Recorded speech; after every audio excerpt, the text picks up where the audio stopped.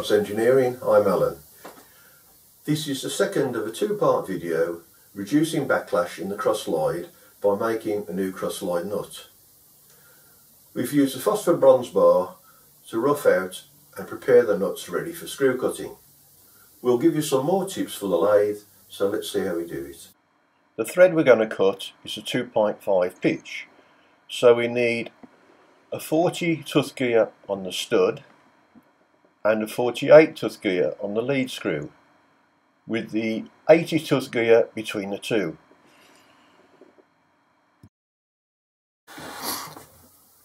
The problem I had with this was that the, the, the bar here I'm using to hold the tool is just under 7 mil.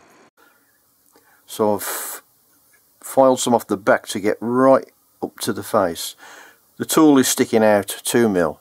So in fact the, the distance of this is bigger than the hole I've got in there. That's an 8.5 mil hole. I've pushed the tool through and it's just scored a line down the side of the hole. That's how tight it is on there. So the next thing I want to do is set the dial cross slide to zero. I've put the half nuts, have engaged them and if I put the lathe on it should travel outwards. Drop the speed to the slowest speed I've got on the normal settings. I've not got the back gear on.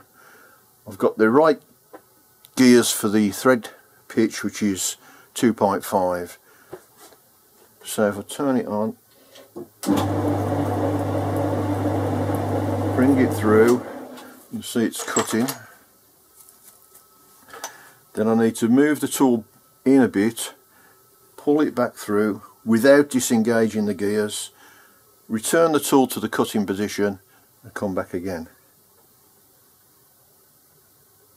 What I need to do now is mark the dial or the thimble.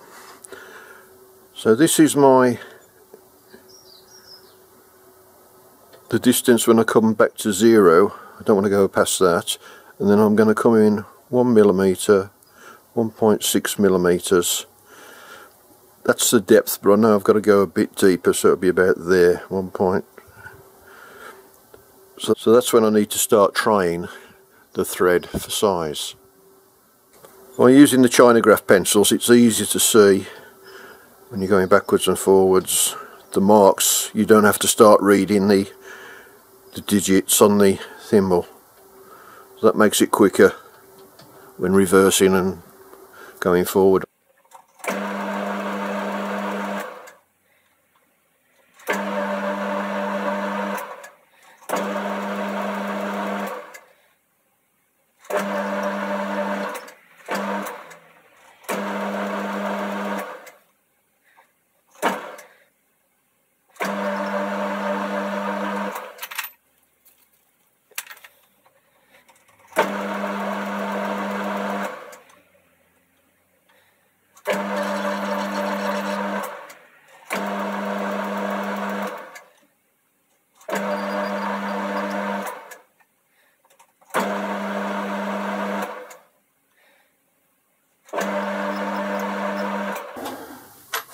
you have to send it in and out a few times just to make sure it's finished cutting the, the form. There's a, there is a bit of deflection on this boring bar so as it's going through it's pushing it away slightly so by doing it three or four times it'll clean out the, the thread. And now what I've got to do is try the thread. Now because the bar or the thread I want to try is in the, the lathe I've got to take it off. So what I have to do, do not alter the the thimble on here. I've not disengaged anything. Now what I'm going to do is undo the two screws here that hold the cross slide thread.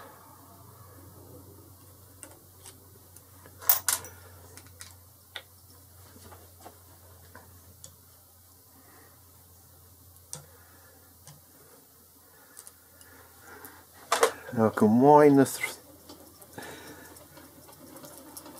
carriage across out the way. Now I can twist this out, take the screw out and try the thread in the hole I've just cut. I can put the thread in there now turn it round it locks up there so now I need to put this back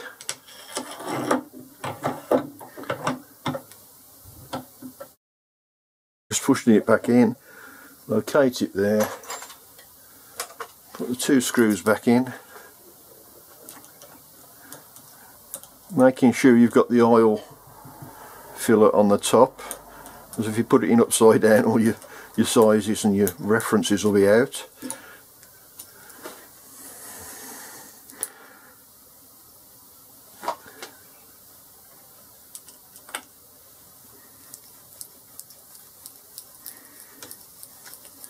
this will only work if you've got a single thread if you've got a, a screw with two threads two start thread I don't think you could do this. But because it's only got a single start thread you know when you're putting the the cross slide back on it's in the same position. So now what I need to do is bring it to zero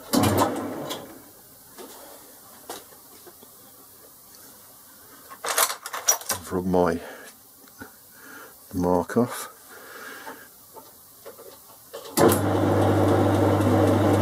Go back in. Put the cut on.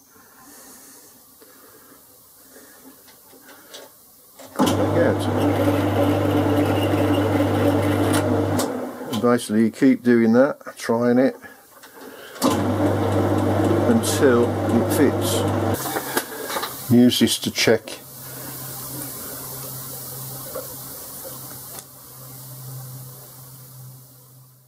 It's not going in perfect yet so I still need a bit more out. I know when I tighten the cross slide up back into the back into there it's on the same thread the same position. Bring it down to zero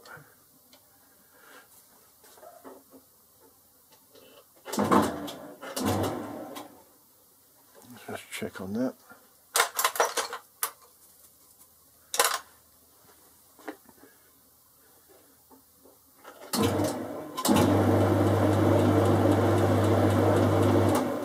And it goes right back into the same part. I could put the cut back onto where I was. Hopefully it's in exactly the same position. I've not disengaged the half nuts they're still the same as when I first set them.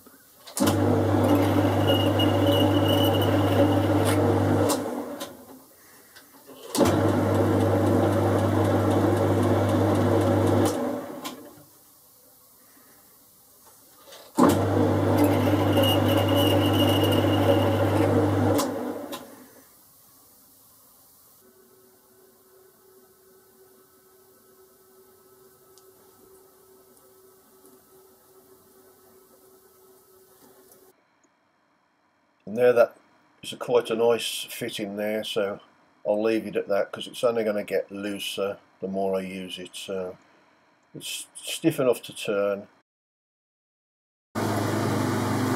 First of all I'm going to put a 45 degree chamfer on it.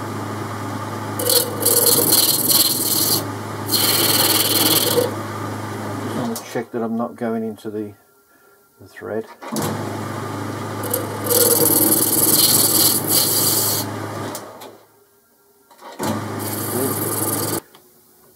A bit more into that. It's nearly there, but just holding on the just holding on this corner here.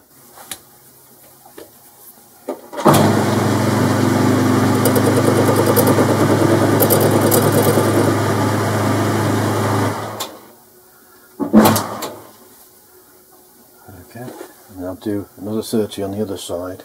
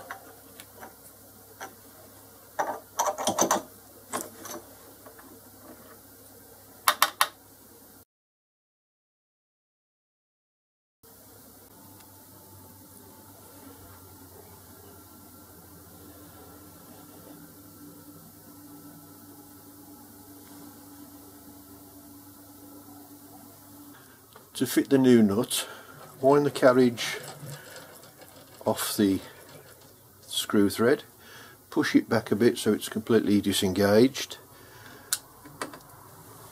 undo the grub screw which will loosen. And you can take out the old. You need to remove this little pin from here put it in the new one. To replace your new cross slide nut put the nut in the hole. Pull it down. Turn the cross slide till it engages.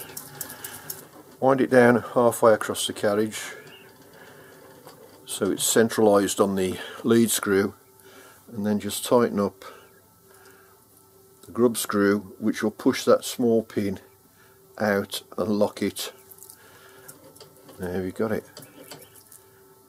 Let's check the backlash. Okay to check the backlash.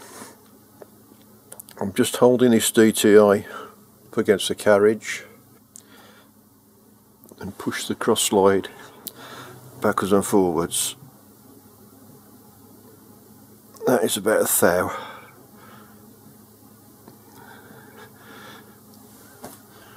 so job done well thanks for watching. I hope you've enjoyed it and we'll see you next time on Enots Engineering